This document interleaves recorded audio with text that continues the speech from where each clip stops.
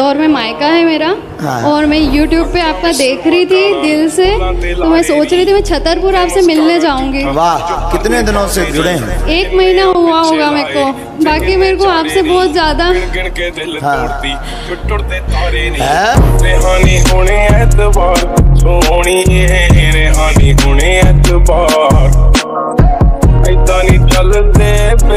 हाँ।